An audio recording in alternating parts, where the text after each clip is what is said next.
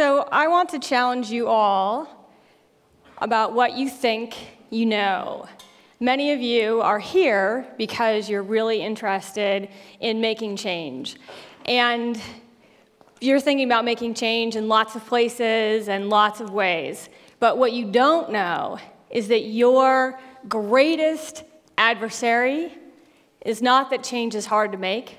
Your greatest adversary is common sense. I know that's kind of a shocker. You think that you're a human being and you know the way the world works, but I'm here to burst that bubble. So let's look at a couple of efforts to make change. One of the things people have been working on for decades is trying to reduce littering, trying to get us to put our trash and our waste in appropriate places. And so here we have two campaigns. One that says, this is the amount of rubbish that's been left around this bus stop since Monday. And that's a really common strategy for trying to encourage people to stop wasting. If we show people how big the problem is, they'll stop doing it. The other strategy is poster B, and it says, See what this Olympic runner is doing? She cares about our town, Preston, and she's throwing away her waste. So I want each of you to look at these two ads, A and B, and think to yourself, which one has the biggest chance of making a change and reducing littering? And just keep that in your mind. We'll get back to it at the end and we'll see how good you are. So, I promised you that I would talk to you about common sense and why it's your greatest adversary. So, there really are three kind of big ways that common sense leads us astray. And the first is that we think if we are going to change people's behavior, they just need education. If we just give them some information, then they'll change their behavior. What's missing in this equation is that people don't know. And if we just fill in the gaps, then we can get them to do what we want. So let's think about one thing that people are talking about a lot right now, which is energy conservation. April opened today by telling you that buildings are responsible for 40% of our energy consumption, 40% of our greenhouse gas emissions. So if we want to make an impact on climate change, we need to think about buildings. So some social scientists were thinking, how do we get homeowners to reduce their energy consumption? And they sent auditors out to look at people's homes. And one of the things they were looking for and reporting back on and giving people information about is these little gaps in, around your doors and windows. If you live in an old house, like the house I grew up in, you might have these little cracks. And they're letting in cold air, and that's making you have to turn your furnace up. So if we just tell people how many cracks there are, how many windows need help, people will weather strip, right? So if you give people information, 20%, 20% of people will weather strip. But really, we're going to spend money and send people to homes and investigate, and we're only getting one out of five people to change their behavior. We can do better than that. We have to know that how you present information makes a difference. And one of the big things that makes a difference is making information tangible. If you take all of those little cracks around all of those doors and windows and you say, How big is that? The gap in your house is as big as a basketball. People then magically now understand how important it is to fill them. When they just think they have 16 windows and cracks, they don't see it as important. But when you make it more tangible and say, You have a hole in your house the size of a basketball, people say, oh, maybe weather stripping those doors would really make a difference. So, making information tangible makes a difference. The folks in this study did more than just make information tangible, they also personalized information to those homeowners and they interacted with them. Putting up posters that people might or might not see is never as effective as talking to other people. Social interaction is one of the most important tools that we can use for making change. So, there are other things, though, that help us eh, when education fails us, when just giving out information is enough.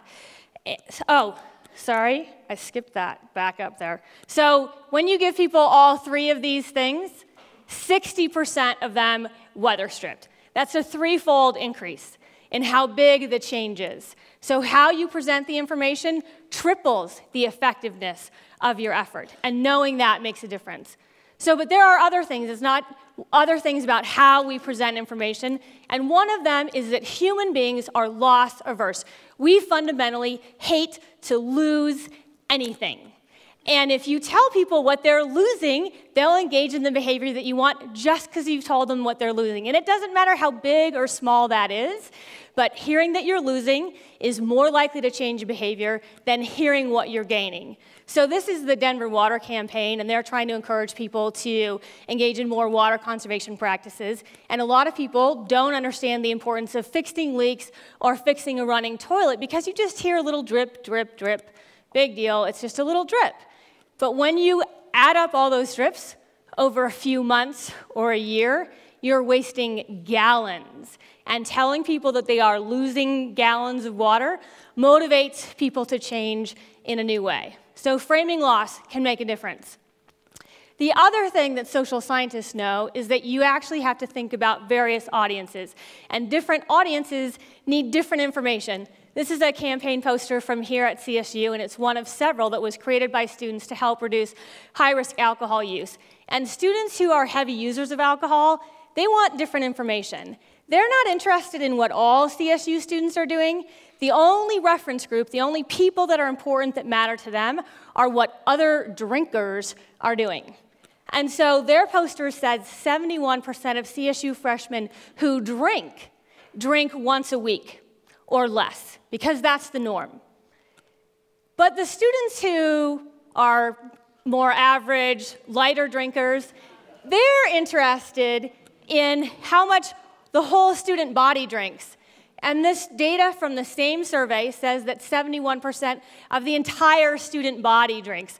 You all laughed when you read the poster. I love this poster. My students love this poster. There are students in the room. Anybody have this poster in your home?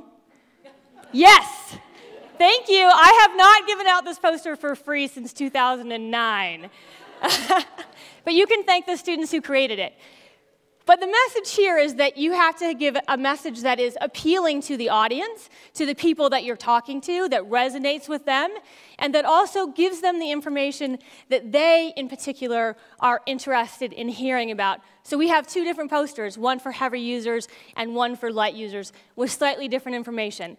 And the difference for heavy drinkers between 77% and 71% maybe sounds like a tiny bit of difference to you. It's a big difference to them. It's the difference between the campaign being believable and influencing their behavior and the campaign being unbelievable and having no effect. It's 6%, but it's the difference between believability and unbelievability. So, knowing your audience is a key factor in making change. So, there are some other things, ways that common sense leads us astray. And this is my personal favorite. We think kind of generally that if you want to change behavior, you've got to change people's attitudes. I talk about energy conservation often in my research, and people say to me, How am I going to get people to believe in climate change? I can't get people to conserve energy if they don't believe that we're killing the planet. And I say to them, You don't. You really don't have to change anybody's attitude about climate change. And people just don't believe me. And to them, I say, you don't have to change attitudes to change behavior. And people always say, then what do you do? If you don't change attitudes, what do you do? Well, let's start with what the environmental sociologists have found over and over again in dozens of studies. Attitudes follow behavior. If you survey people about whether their attitudes are pro environmental or not, it will not predict whether or not they engage in conservation behaviors. It will not predict whether or not they conserve water. It will not predict whether or not they recycle. Attitudes follow behavior, they do not predict it. So stop trying to change it. When people engage in the behaviors you want, you'll be able to measure the attitudes you expect. But before that, you need to do something else. So, how many of you were asked by your parents to turn off the light when you leave the room? Raise your hands. Turn off the light when you leave the rooms. Okay, this is an effective strategy. Almost everyone in the audience had their arm up. That's because your parents do know that setting expectations works. They just don't know that it works for all kinds of things, much bigger things than turning off the light in your room when you leave it. So set, don't change attitudes, set behavioral expectations. This is a poster of high school students at Rocky Mountain High School, little placards they put over the lights in all of the rooms in their high school, reminding teachers and students to turn off the lights, and that's what people do. When I interviewed people at this school, new teachers to that school said, I know that this school cares about energy conservation because I see this everywhere. It not only reminds me to engage in conservation behavior, but it also tells me that people in this place care about this issue. And that encourages me to think about it in my daily life. So, if we're not going to change people's behavior by changing their attitude, how do we deal with a tough issue like climate change? So, building green buildings like this one, convincing cities and school districts and other public organizations that they should adopt green building standards can be a highly politically contentious issue. And citizens say, let's not waste money on stuff that we don't need, that's not going to do any good. How do we deal with that? We don't deal that by changing anybody's attitudes. We deal with it by understanding what people's underlying values are. What is it that people really care about. And this is a knowable thing. You can ask people, and they will tell you what really matters to them. So the environmentalists care about green buildings for all of these reasons. They care about building green buildings foremost because they see it as saving the planet. They also care about it because they think green buildings produce better learning environments for students. They also care about building green buildings because they know that it saves resources like electricity and natural gas. And they care about it because, of course, all doing all those things saves money. But that's kind of secondary. There's a whole other set of people that identify specifically not as environmentalists. And they can buy into green buildings too. But we have to understand what their underlying value is. And their core value is frugality. And the value of frugality is just not wasting. We shouldn't waste money. We shouldn't waste people's time. We shouldn't waste natural resources. We should just eliminate waste. And this idea of conserving is what unites both of those two ends of the political spectrum that are so likely to be fighting with each other. If we sell green buildings because they are conservative, because they conserve our money, our time, our resources, and the resources can be money as well as environmental resources. If you sell it based on conservation, both sides, the left and the right, the environmentalists and the people who care about frugality, will all buy in. But you must understand values.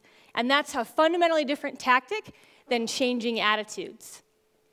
So we have one more way that common sense tends to leave us astray, People think that they know what motivates them. Now, you all are human beings, and you think that because you're a human being, you're qualified to say what motivates you. You are wrong. I know, it makes you laugh.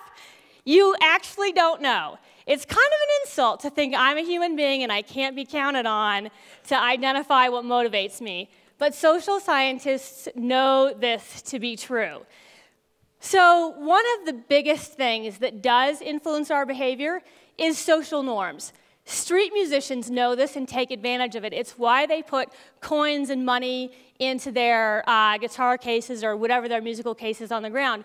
Because we know that when other people are doing something, other people are more likely to follow. What the street musicians don't know is that seeding their case isn't really enough because you haven't actually seen another person doing it. What they really should be doing is bringing their friend with them and asking their friend to come by every five minutes and drop a dollar in. Anytime there's no action, can you just walk by and drop something in? The number one predictor of giving money to a street musician is walking past the musician directly behind someone who did contribute. That's the greatest predictor, that you saw somebody else do it. That increases the likelihood that you will do it. Now, unfortunately, social norms are a great motivator of behavior, and they are the most understood and, and uh, underestimated by human beings. So, how many of you have been to a hotel and have seen the wonderful message, please reuse your towel and help us save the environment? Okay, Hotels are using the least effective message that they could possibly use. Now, the reason they're using that is because they asked people. They said, which one of these messages will motivate you the most to change your behavior? And people said, if you ask me to protect the environment, that will work. And if you tell me that other people are doing it, I'm going to report, I really, I don't think that's a very effective message. The sad news is that social scientists, especially psychologists, like to do experiments. And when you do an experiment and expose people to different messages, you discover that social norms have the biggest impact on behavior. If you tell people 75% of the people in this hotel room reused their towels, you will get the biggest bang for your buck. If you ask people to save the environment, you will be about half as effective as if you told people that other people are doing it. So not only are social norms really effective, but they're really underestimated. Not only do human beings not know what motivates them, they reverse the order of importance. So if you ask people, you will design a campaign around their priorities that is the least effective that it possibly can be. So let's go back to this one. How many of you thought A will be the most effective? Be honest, raise your hands. How many of you thought A? All right, now you know that you're wrong. How many of you thought B? All right, we have some social scientists in the crowd, some people who've taken one of my classes or someone else's. And you know that B is the most effective because it utilizes social norms and it also uses modeling. It shows someone doing the behavior that you are interested in. What's wrong with A is that it sets the inadvertent norm, the behavior that you're not interested in having people do. You're like, everybody litters. And since social norms are the most influential, you can create campaigns that are not only, does this say the wrong thing? Why are we laughing? not only can you be ineffective in your campaign, Many people, including the federal government, have created social norms campaigns that increase the behavior that they're trying to reduce because they use social norms in a, in a way that is ineffective, because they don't know about their importance.